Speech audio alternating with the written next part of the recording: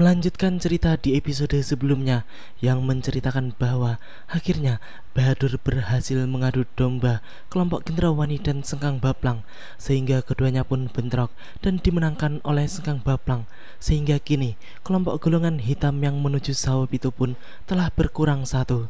Bahadur pun sangat bangga karena ia bisa menjadi pahlawan kesiangan di hadapan Prabu Raja Samuka Singa-Maruta. Kini kita menuju kerajaan Saubitu, di mana pada saat itu Pangeran Supuh pun sedang mengadakan pertemuan khusus dengan putra sulungnya, yaitu Raden Jaya Lamat.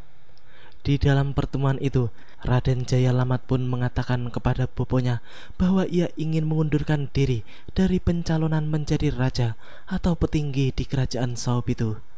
Pangeran Sepuh yang mendengar semua itu pun tidak menjadi heran karena sebelumnya ia telah mendengar bahwa putra bungsunya yaitu Jaya Lantar telah kasak kusuk dengan koala untuk mendukung penobatannya menjadi raja di Saup itu. Untuk kejelasan semua itu, Jaya Lamat pun menyerahkan semua peristiwa adiknya Jaya Lantar kepada Pandega kepercayaan Saup itu. Sebab Pandega itulah yang mendengar langsung pembicaraan antara Jaya Lantar dan Kuala di kala itu. Ceritakan dengan jujur. Terus terang saja Gusti. Putro Jengandiko Raden Jaya Lantar sangat menginginkan singgasana Saup itu. Itu itu terungkap dalam percakapannya dengan Pandega Agul Kuala yang secara tidak sengaja saya dengar. Apa jawab Kuala? Kalau Kakang dan para pandega Sop itu mau mendukungku, maka sana pasti bisa kita rebut. Dan kalau kemudian aku bertahta, maka Kakanglah yang akan menjadi batik madrimnya Sop itu. Pandega kepercayaan Sao itu itu pun kemudian menjelaskan bahwa Koala tidak langsung menjawab tentang tawaran yang diberikan oleh Raden Jaya Lantar. Namun selanjutnya, tawaran Jaya Lantar tersebut pun membuat sikap Koala menjadi berubah. Ia pun menjadi tampak sombong, angkuh, dan bersikap sewenang-wenang terhadap para pandega lain dan juga prajurit asli Saup itu. Hal itu terlihat jelas ketika latihan dilaksanakan. Pada saat itu, Koala pun tampak berlatih seperti biasa dengan para prajurit. Akan tetapi, ia tampak emosi dan benar-benar menghajar para prajurit yang seharusnya mendapat tambahan ilmu kanuragan darinya. Bahkan setelah merobohkan puluhan prajurit, walaupun menantang siapa saja yang masih ingin melawan dirinya, seakan dirinya adalah raja yang bisa dengan seenaknya memerintahkan siapa pun. Siapa lagi yang berani? Silahkan, siapa yang mau uji tanding denganku? Ingat Kakang Kuala, Tugas Kakang melatih, bukan pamer kekuatan. Pandega, jangan pernah berbicara seperti itu di depan prajurit. Itu akan melorotkan wibawaku. Aku adalah Pandeganing dari seluruh Pandega Sawapito. Kamu dan kamu semua harus tunduk pada perintahku. Mengerti? Pangeran Sepuh yang mendengar semua cerita dari Pandega Sawopitu itu pun kemudian menjadi resah dan berdebar sebab yang menyebabkan Kuala berubah adalah anak bungsunya Jaya Lantar dan yang merubah Jaya Lantar adalah tahta Sawopitu. Ia pun mengatakan kepada Jaya Lamat putranya bahwa hal itulah yang sangat ia takutkan sejak dulu Mendengar perkataan ayahandanya yang disertai kekhawatiran yang sangat itu, Raden Jaya Lamat pun kemudian berdiri dan menyampaikan bahwa boponya tidak perlu khawatir sebab ia akan mundur dan menyerahkan tahta Saup itu kepada adiknya Jaya Lantar. Sedangkan dirinya siap untuk kembali ke Ukir Ketewu sebagai tempat kediamannya sejak kecil. Nanda bersedia kembali mundur ke Ukir Ketewu. Kalau memang Rayi Jaya Lantar menginginkan Saup itu. Yang Nanda katakan sekarang sama seperti yang Romo katakan dulu pada Eyangmu. Ketika Eyangmu Suwargi Jaya Andika bingung menghadapi rongrongan pamanmu, Prabu Jayadipa, yang merasa lebih berhak menduduki tahta daripada Romomu ini. Ya, Pangeran Sepuh pun merasa bahwa posisi Jaya Lamat sekarang sama dengan seperti posisinya dahulu ketika tahta Saub itu akhirnya dengan rela diserahkan kepada adiknya Jaya Dipa demi terciptanya kedamaian. Selanjutnya, Raden Jaya Lamat pun kembali mengatakan bahwa ia bersedia kembali ke Ukir Ketewu dan menyerahkan tahtanya kepada Jaya Lantar adiknya. Akan tetapi, Pangeran Sepuh pun mengatakan bahwa Jaya Lantar masih memiliki banyak kekurangan dan belum pantas untuk memegang tampuk pemerintahan yang begitu berat. Tapi adikmu Jaya Lantar masih banyak kekurangan Jaya Lamat. Adikmu masih begitu... uh, Ampun, Gusti.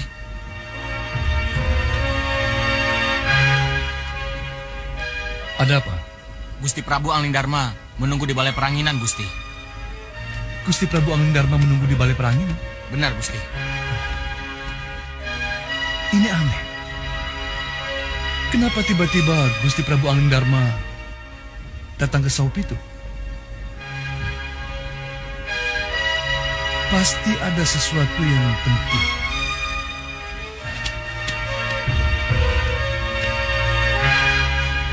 Kelihatannya ada yang tidak beres, Raden. Saya mencari Kuala. Dengan rasa penasaran, Pangeran Sepuh pun segera menemui Prabu Angling Dharma yang datang bersama dengan Danurwenda, Ramaja Gandhi, dan juga Angling Kusuma. Ia pun kemudian bertanya tentang kedatangan sang Prabu yang hanya ditemani oleh para putra.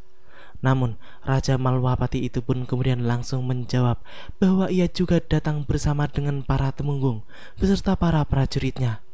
Mendengar perkataan Prabu Angling Dharma tersebut, Pangeran Sepuh pun langsung melayangkan pandangannya ke arah sekitar tempat itu, dan ia pun menjadi sangat terkejut setelah melihat bahwa tempat itu ternyata telah dikepung oleh pasukan panah Malwapati. Pangeran Sepuh pun kemudian segera berlari ke halaman dan ia pun langsung dikepung oleh pasukan Angling Dharma. Bahkan ketika ia bertanya tentang apa maksud dari semua itu, sang Prabu pun hanya tersenyum penuh ejekan. Gusti Prabu Angling Dharma.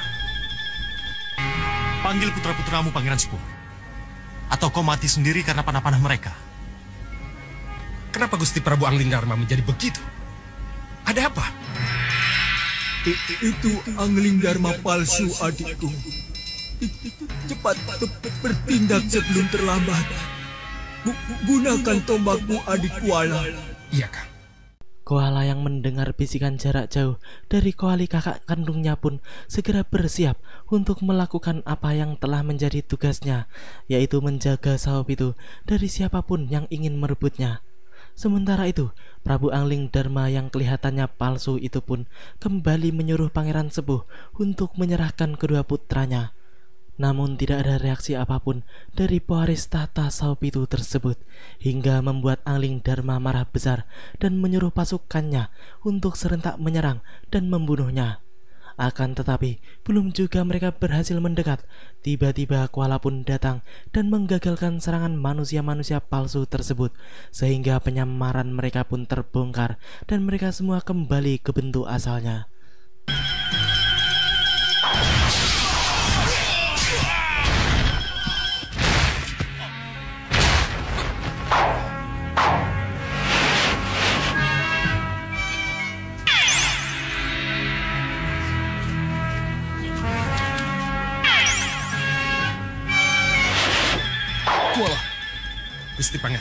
Biar ku selesaikan sendiri.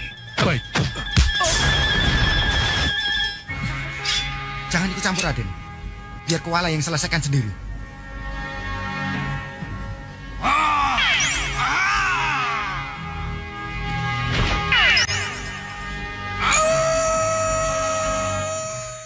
Iya, ternyata Angling Dharma palsu itu adalah kelompok Prabu Baka dan Segaun Lanang. Dengan tongkat ilat nogo yang berada di tangannya, Koala pun mampu meladeni serangan-serangan ganas lawannya. Bahkan kemudian, ia pun dengan mudah mengalahkan mereka sekaligus dengan hanya dalam beberapa gebrakan saja.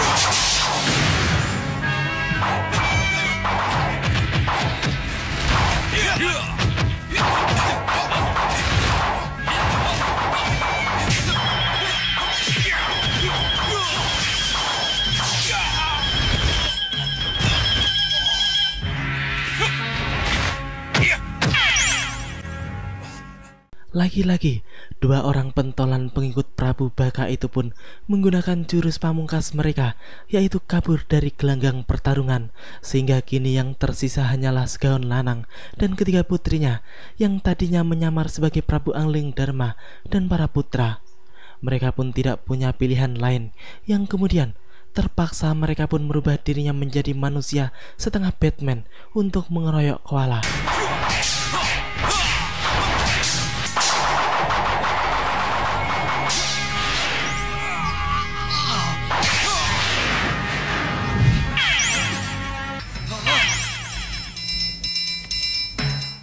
Ya, akhirnya koala pun mampu mengusir para manusia licik golongan hitam tersebut. Pangeran Sepuh yang kemudian menghampirinya pun langsung melayangkan pujian kepadanya. Ia pun kemudian mengatakan bahwa di hari itu ia melihat sendiri betapa hebatnya seorang koala. Selanjutnya, Pangeran Sepuh pun mengajak koala untuk membicarakan sesuatu. Di sisi lain, Ternyata semua yang terjadi di Saup itu tidak lepas dari pengamatan Singa Maruta dan orang-orang pusar angin lainnya. Mereka pun sangat senang karena melihat saingan mereka kembali berkurang satu. Akan tetapi, Singa Mandala pun merasa menyesal sebab mereka belum melakukan tindakan apa-apa untuk merebut pusaka Ilat Nogo dari tangan koala. Padahal ia merasa bahwa di saat pertarungan koala tadi adalah waktu yang tepat untuk merebutnya. Singa Maruta yang mendengar perkataan adiknya itu pun kemudian tidak terima sebab ia tahu hal itu akan beresiko sangat tinggi bila merebut ilat nogo dalam keadaan digunakan oleh pemiliknya. Akhirnya, Bahadur pun menengahi dan merencanakan bahwa ia akan menggunakan sihirnya di waktu yang tepat. Saat kita berdebat, Sengkang Baplang sudah berada di depan gerbang saup itu. Lihat,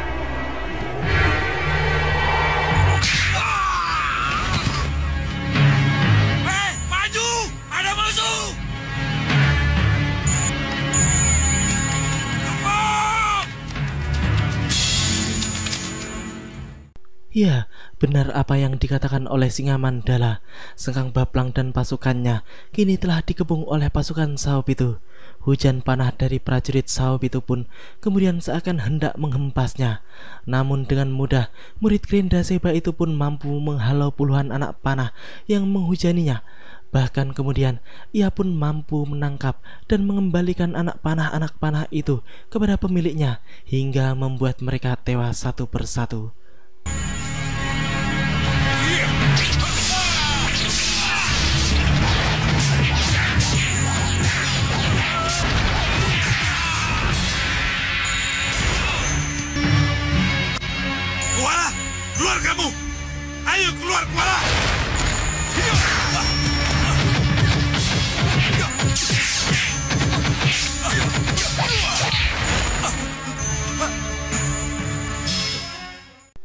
Si Raja Istana Batu yang sombong itu pun dapat dikalahkan hanya dalam sekali gebrak saja oleh Kuala.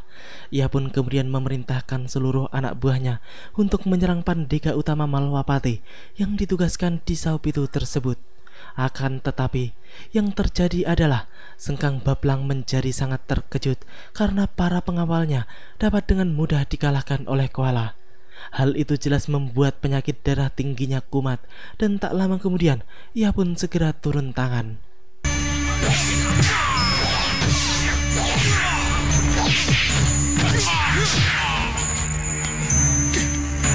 Koala, ayo hadapi saya, Sengkang Bablang! Kitiran Sewu!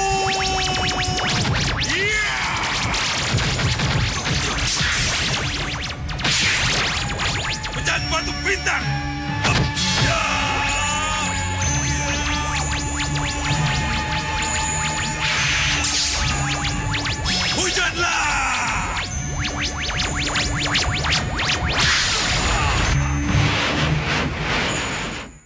Mendapat serangan pamungkas pecahan batu bintang milik Sengkang Baplang membuat koala terhempas beberapa tombak ke belakang hingga membuatnya mengalami luka dalam yang cukup serius. Namun, suara bisikan kuali kakaknya kembali terdengar di telinganya yang mengatakan bahwa ia harus menggunakan tombak ilat nogo untuk menghadapi gempuran batu bintang Sengkang Baplang. Dengan semangat barunya, akhirnya perlahan-lahan koala pun bangkit sambil menyekat darah yang membasahi bibirnya dan ia pun segera menghabisi sengkang baplang.